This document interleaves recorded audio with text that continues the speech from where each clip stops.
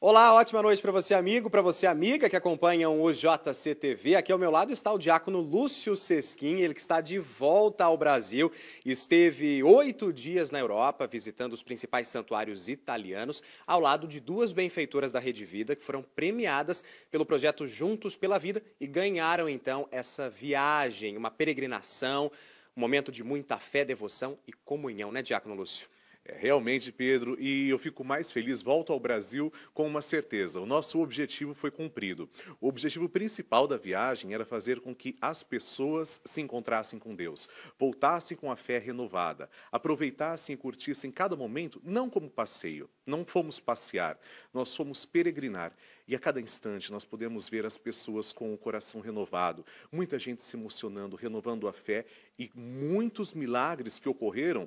E o ser humano precisa de milagres. Jesus sabia disso, por isso a igreja deixou os sacramentos, que são sinais visíveis. Agora, alguns deles estiveram lá para a veneração pública dos fiéis, para a contemplação, e como diretor espiritual eu pude partilhar desses momentos eu volto renovado na fé e é assim também eu quero compartilhar com cada telespectador. Nós procuramos também dividir cada momento, mostrando, partilhando através das mídias sociais.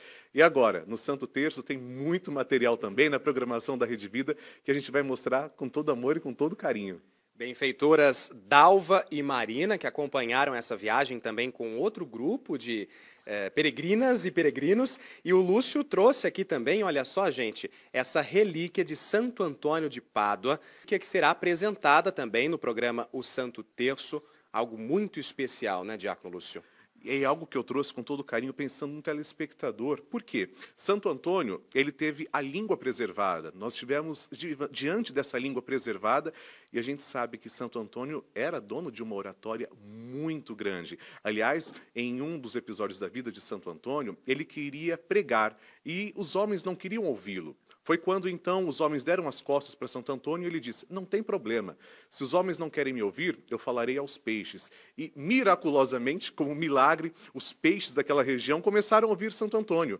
Então é comprovado que Santo Antônio era uma pessoa abençoada por Deus. E Deus fez com que a língua de Santo Antônio, séculos depois, continuasse preservada trouxe essa relíquia, estive diante da língua de Santo Antônio, é realmente encantador, é emocionante, renova a nossa fé saber que Deus preservou incorrupto é, este órgão de um santo que tanto usou a palavra, a língua, para pregar coisas boas.